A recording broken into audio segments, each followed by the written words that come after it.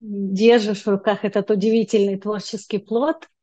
У меня, я приобрела открытку, часть первую, и просто диву даешься, как же, как же здорово можно иллюстрировать любовь. Каждая линия просто пропитана чувствами, и такая тихая радость рождается от встречи с этой сказкой. Здесь все сказочно.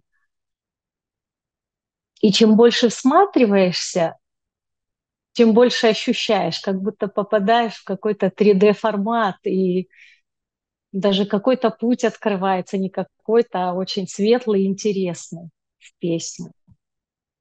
Спасибо большое за ощущение радости, за возможность познакомиться, что же такое нежность.